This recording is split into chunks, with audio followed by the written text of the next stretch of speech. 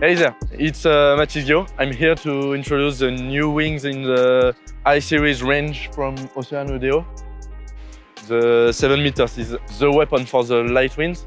Today it was something around 8 and 10 knots and it was extremely easy with uh, a small board. The ALUULA leading edge and all the ALUULA reinforcements are extremely light and extremely stiff. You can inflate your struts uh, to 12 psi and you can inflate your leading edge up to 7 to 9 psi and it uh, gives to your wings. A lot of stiffness to have this power all the time on the water. It's incredible. With the matrix system you can use the soft handles or you can also use uh, the carbon handles like, like this one.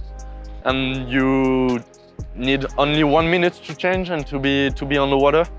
You you can change and put the, the, handle absolutely wherever you want on the wing and it's uh, incredible to personalize your own wing.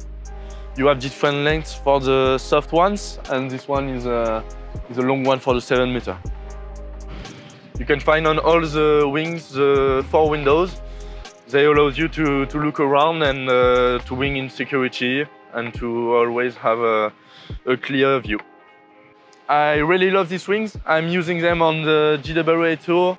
Uh, in all the competitions, I feel something in more due to the ALUULA leading edge and strut. It's very more powerful than a Dacron wing, and uh, I'm really faster due to its power and stiffness.